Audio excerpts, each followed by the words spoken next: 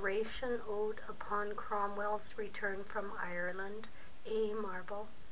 The eager young man is finished with his schooling and ready for action. He is full of courage and looking for a way to show it. Whatever gets in his way is used as proof of his worthiness of honor. He's a good leader, and many places fall under his command for England. The power gotten, however, must still be maintained. This Horatian ode upon Cromwell's return from Ireland creates a hero in story.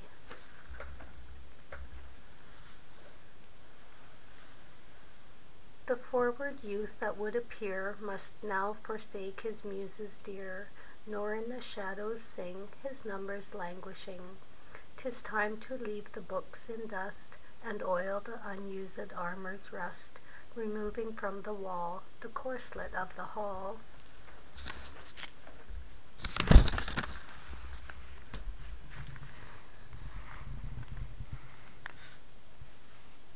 So restless Cromwell could not cease in the inglorious arts of peace, but through adventurous war urged his active star, and like the three-forked lightning first, breaking the clouds where it was nursed, did thorough his own side, his fiery way divide.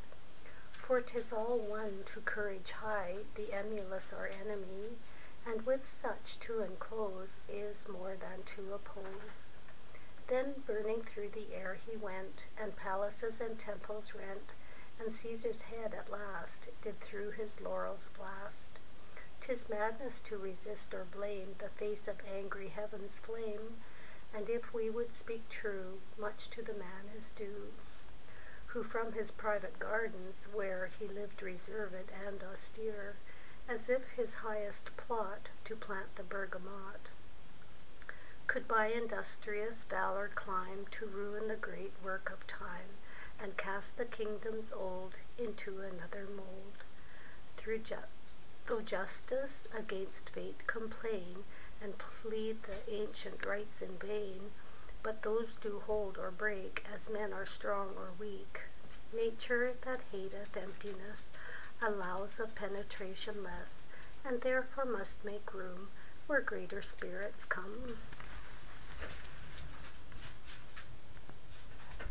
What field of all the Civil War, where his were not the deepest scar, and Hampden shows what part he had of wiser art, where twining subtle fears with hope, he wove a net of such a scope that Charles himself might chase to Carisbrooke's narrow case, that thence the royal actor born the tragic scaffold might adorn, while round the armed bands did clap their bloody hands.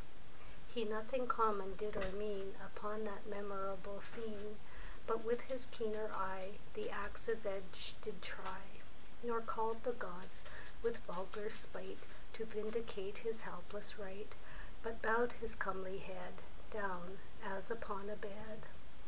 This was that memorable hour which first assured the force forced power, so when they did design the Capitol's first line, a bleeding head where they begun did fright the architects to run, and yet in that the state foresaw its happy fate.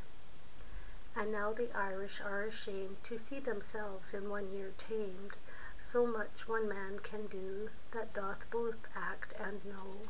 They can affirm his praises best, and have, though overcome, confessed how good he is, how just, and fit for highest trust.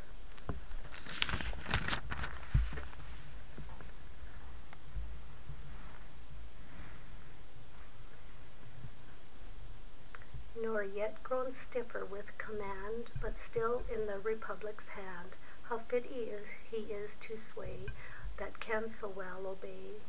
He to the commons feet presents a kingdom for his first year's rents, and, what he may, forbears his fame to make it theirs, and has his sword and spoils ungirt to lay them at the public skirt. So when the falcon high falls heavy from the sky, she, having killed, no more does search, but on the next green bough to perch, where, when he first does lure, the falconer has her sure.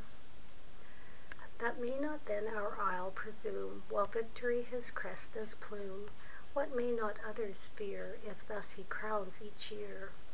As Caesar he ere long to Gaul, to Italy and Hannibal, and to all states not free, shall climacteric be. The Pict no shelter now shall find within his party-colored mind, but from this valor sad shrink underneath the plaid. Happy if in the tufted brake the English hunter him mistake, nor lay his hounds in near the Caledonian deer. But thou, the war war's and fortune's son, march indefatigably on, and for the last effect, still keep the sword erect.